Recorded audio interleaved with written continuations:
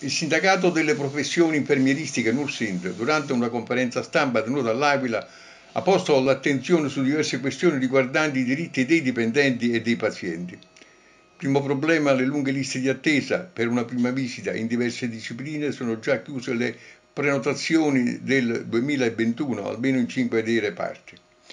Il concorso per infermieri, si legge in un comunicato, indetto con deliberazione numero 428 del 4 marzo 2020, non è stato mai pubblicato in gazzetta ufficiale e non si sa che fine abbia fatto. Assunzione degli operatori sociosanitari sono privilegiate le agenzie di somministrazione lavoro, infatti non è stato indetto nessun concorso o avviso a tempo determinato. E ancora prosegue il comunicato, la progressione economica di fascia. Ancora non hanno dato atto al pagamento del personale aventi diritto per mezzo della deliberazione 2362 del 30 dicembre del 2020. Oltretutto a questa deliberazione ci sono dipendenti che hanno fatto richieste di rivedere la loro posizione, quanto la valutazione di titoli non è stata fatta come si deve, ritrovandosi fuori della graduatoria degli aventi diritto.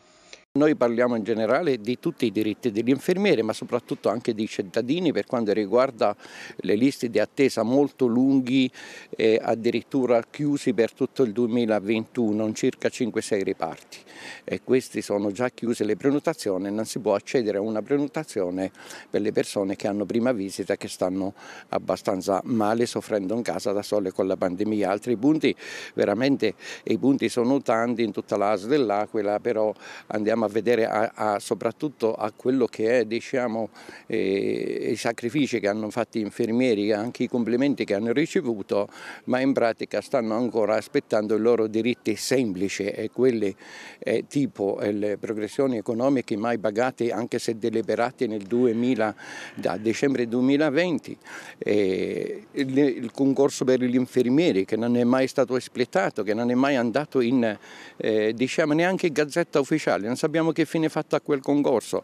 Le assunzioni che vanno anche per gli OSS che sono sempre privilegiate le agenzie generali e quindi eh, non sappiamo come mai eh, anche questo eh, viene diciamo, utilizzato nonostante le risorse, no? il mancato rispetto per le nostre risorse.